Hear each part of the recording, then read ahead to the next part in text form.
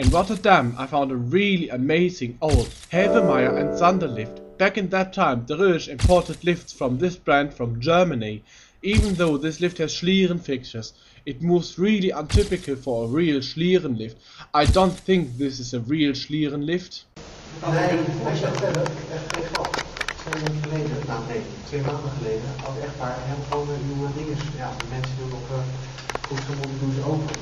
Ja, precies. En uh, twee kanten weg.